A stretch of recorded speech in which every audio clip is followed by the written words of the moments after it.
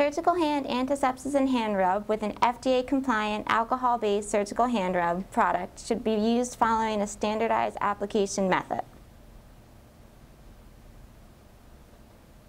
An amount of the product should be dispensed into the hand.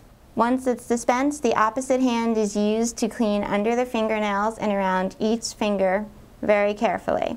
Next, the scrub person continues to rub the antimicrobial agent around the wrist, forearm, and up to two inches above the elbow.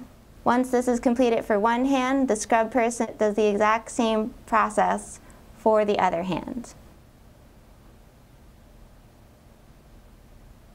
Make sure both hands and arms are rubbed thoroughly until the product is completely dry.